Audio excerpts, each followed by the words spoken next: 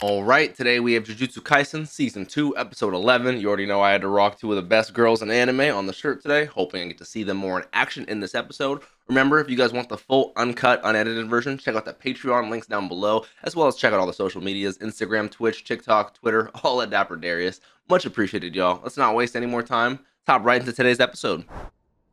This, ep- this episode is called Seance, which I assume they're going to be doing some sort of seance. So it's going to be an army before they can even get to the top and deal with these guys holding up the barriers. I love how they were able to cut all the floors, take that shortcut because of Nue. Right? He is hiding them specifically on his body, so we gotta go in. I love how Yuji has this like fucking trap wire from Naruto now. Anytime I see that shit in any shonen, I'm all down for it.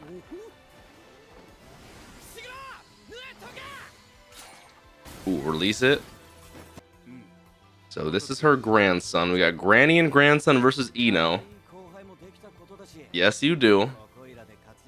And I know you love those achievements, especially when Nanami's the one that gives them to you. Yes, sir.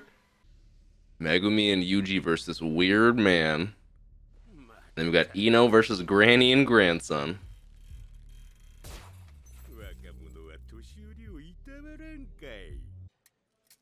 Ooh, some Korean barbecue. What is his technique specifically? He could easily become semi first. Respectable. Always liked Ino from the brief moments we've seen him throughout Zero and Season 1, you know. Such a great mentality to have, you know. He's a great person to follow. I like it. I would also be thinking the same.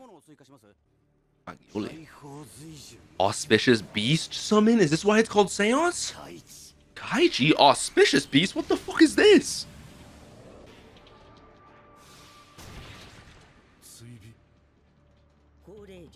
Seance technique, auspicious beast summon. Oh, of the four auspicious beasts. So there's only four of them. He has to cover his face. He can become a spiritual medium. Reiki. Okay, Mr. Do It the Right Way. I love to see it. Come on, Ino. With the water sliding Reiki. I like how he's using the water for offensive and defensiveness. Using it to help him be mobile and slide, but also for defense. Yuji's giving him the quick one-twos, but he's just tanking it like it's nothing.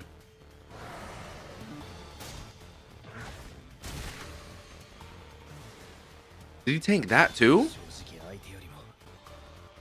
But they're really giving him the JJK jumping, and he, they're beating his ass, but nothing is happening to him. What is going on?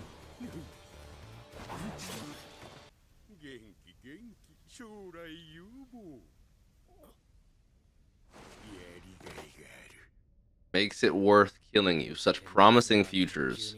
That's what I'm saying. Demon Dog, Black's Claws. They're not scratching this guy. Maybe it's Granny's powers? Is that why grandson is, particu is particularly protecting her? Ooh. Okay, you know with the fluid movement? That's what I'm saying. I think she's very pivotal to what's going on here. I love how he's just slipping and sliding around. We're all set now. Oh no.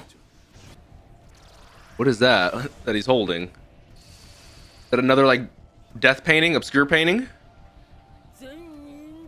Whoa, what? Toji Zenin? Can they also be a spiritual medium and like put Toji's spirit in him? What does that mean? He's half Toji, half what's his name? Whatever. I am so confused. I need answers. 1989, December 7th. Is this the day Gojo was born or when he was a youngin'? 1989, December 7th. 20 days before my sister's birthday. Happy birthday, Dad. Ooh, you'll turn out just like your mother. Who are we watching? Who is this?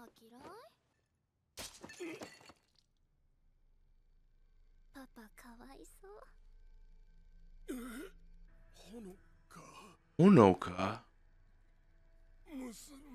What the hell? I need a corpse.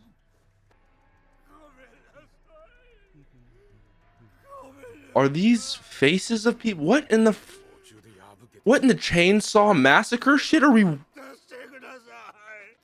Are we just putting different consciousness in different bodies' heads? This what the fuck are we doing? He's cutting the faces off people. He's like Qyburn from Game of Thrones. He just does live experiments to understand how people work in certain situations. So they are just a family of So they're Texas Chainsaw Sorcerer users. What the fuck?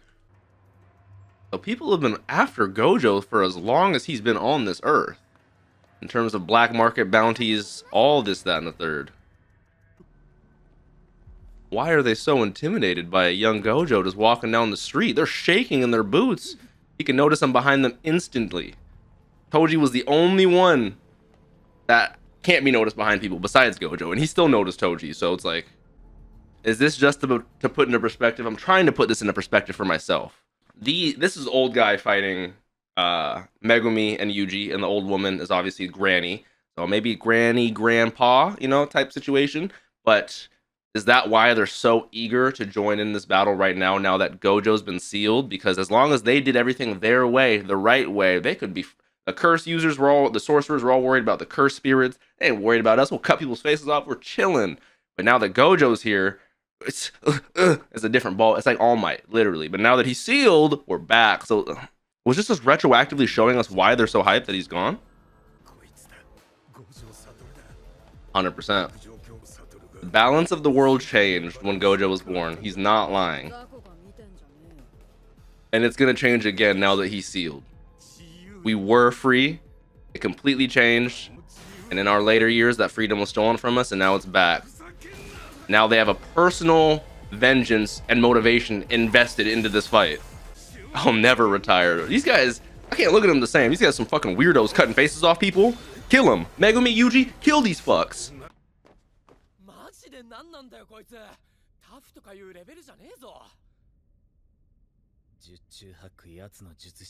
Hundred percent, like iron skin. What is it? Image nullification. There has to be a limit to that if that's the case. Ooh, bunnies? Rabbits? Fleeing hares? Anytime we can see a Shikigami, I love it. And I've never seen his rabbit one. Fleeing hares. Turns an army of smaller hares into a big hare. Just purely for distraction. Have you now? You know, sweating and struggling over here. I mean, problem is he's now half one of the strongest motherfuckers. We, you know, he's full him. Oh my god, that's Toji. He's back. He took the map. Ino, I swear to God, if Ino dies, I've only known him for a few episodes, but I like him so much. Do not do this to my boy.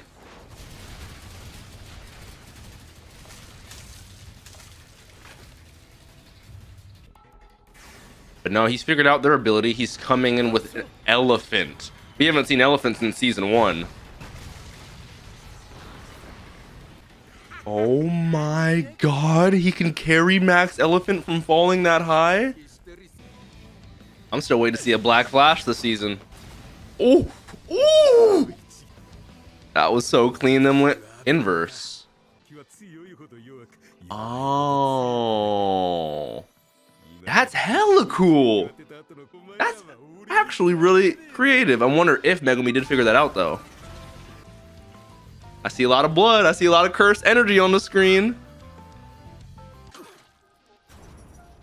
Oh, and they hit him with the Gamma Tongue.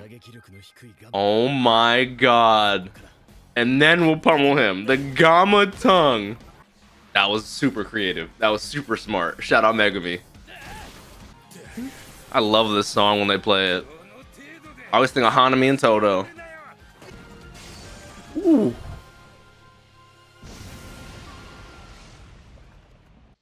He didn't even hit him. Oh. Oh. I like that, Yuji. I like that. It's a little... Heck yeah. Wait. We don't even get to see what happened with Ino? Oh... Well, that was an absolutely fire episode. Um, it's exactly what I was expecting, but with that much time and dedication given towards Granny, grandson, and the guy that Yuji and Megumi just beat up, like we're gonna still have full episodes with Choso, Jogo, Mahito, the water spirits, Geto, uh, who has fucking Geto now, or pseudo Geto, whatever you want to call him. Like, there's still this is episode 11 we still have what 13 more episodes left before the season's over with and the shibuya arc's done. So it's like i'm glad we're getting isolated team fights and moments where it doesn't feel cut and split up like uh for example the chunin exams arc when uh during the end of that if you know you know like they would they would show the third hokage in his fight for a couple minutes and they would cut to another fight for a couple uh, i much prefer this style of fights where it's an entirety one episode isolated on this story but still with enough confidence and breathing room in the rest of the season that you know this isn't going to be an isolated isolated thing. We're still totally going to see the girls still totally going to see go not gojo. You guys know what i'm trying to say. That um thoroughly enjoying this fighting style though. I loved i was going to say i loved ino just helping the boys saying you guys go handle this. I got this.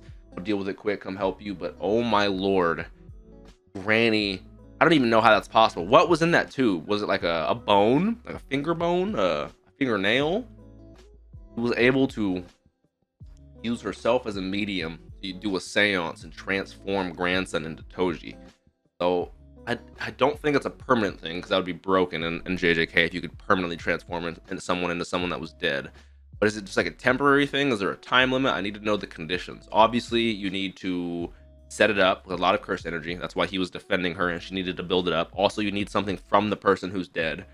So, also, can you guys explain to me um because obviously during the flashback we saw granny and grandpa and the things they were doing back in the heinous days of the late 80s and early 90s can you guys explain to me real quick? I would thoroughly love it. What the fuck they were doing?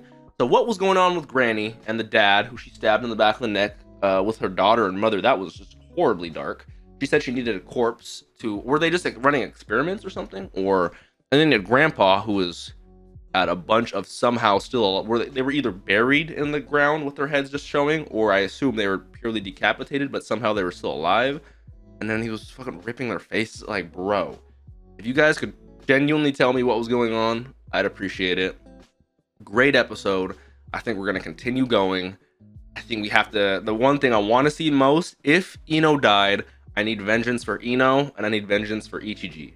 I need hand sword guy to get murdered, and I need Granny grandson to get fucking bopped. Those are my two right now. I have to have happen. I'm trying to think of anything else.